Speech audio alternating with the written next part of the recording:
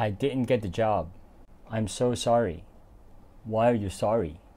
其實喺英文世界裏面，sorry 除咗用嚟道歉之外，佢係有其他嘅用途嘅。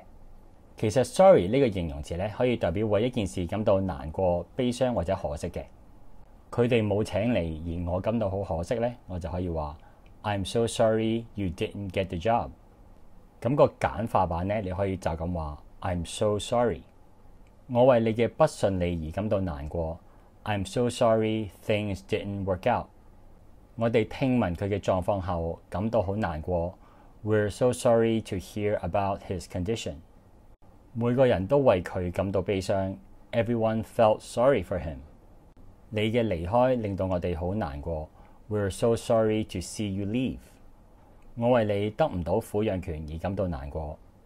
I'm sorry about your not getting custody。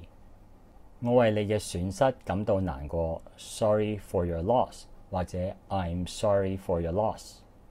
喜歡呢條片，記住幫手 like、comment 同埋 share。